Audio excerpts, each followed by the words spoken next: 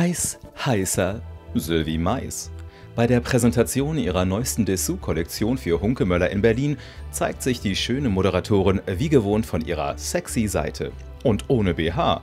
Wie sie trotzdem so ein pralles Dekolleté zaubert? Ja, obenrum ähm, ist viel Fashion Tape. Funktioniert das?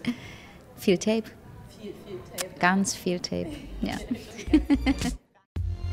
Dabei bietet ihre von New York inspirierte Kollektion so viele heiße Stücke. Ob rosa BHs, schwarze Spitzenbodies oder Ensembles in den verschiedensten Blautönen, hier ist bestimmt für jeden Geschmack was dabei.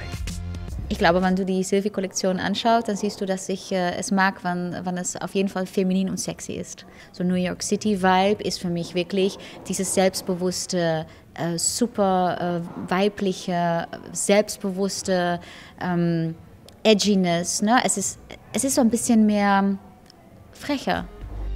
Ob ein Mann Sylvie derzeit in knapper Unterwäsche begutachten darf, das will sie nicht verraten. Aber ohnehin hat sie für romantische Stunden zu Hause ihr ganz eigenes Rezept. Ein lange, langes Kleid mit so einem Schlitz und dann Kerzen an und Kamin an und Jazzmusik und schön entspannt. Und so sieht man dich dann tatsächlich auch zu Hause. Mhm. Ja. Klingt ganz schön verführerisch. Da möchte wohl jedermann gerne mal Mäuschen spielen.